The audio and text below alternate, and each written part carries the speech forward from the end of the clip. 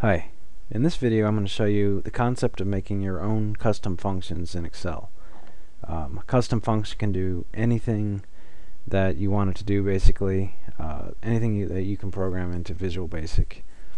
Um, you might want to use this if you have a really complicated formula or uh, just something that you need to do repeatedly that you don't want to rewrite the formula over and over. So to get started, I'll just show you how to do it. Uh, you go to the Visual Basic Editor with Alt F11, or you can right click on your worksheet and go to View Code. Uh, we have to do this in a module, so we're going to insert a module and go into it.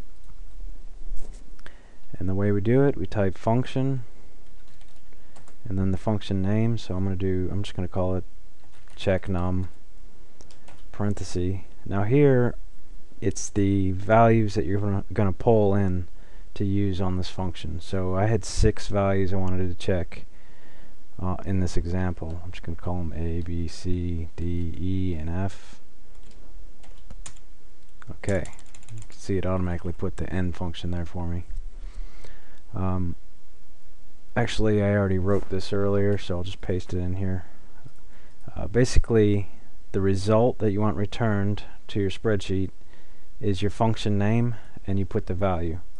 So in this case it's going to assign a default value of no and then it checks uh, these multiple criteria. This isn't great code or anything, it's just an example. Um, and if it matches all the criteria then it will return the function result as a yes. Alright, so let's let's go ahead and close that. It should save automatically. Alright, and then here all you do is equals and then your function name that you made. Check num, you can see it auto-filled there. And you put your parentheses and you need to fill in your inputs into the function. And close parentheses. So it checked, do all these numbers equal 1 or 2 uh, from the Visual Basic? Let's look at it one more time. And you can see the simple steps it went through to decide if each of those cells met those criteria. And this code could do anything you wanted it to do. And let's let's make a sample show yes by making all these one or two yes. And there you have it. So if this is some formula I had to write all the time and I didn't want to uh, take a lot of time to do it I might make a function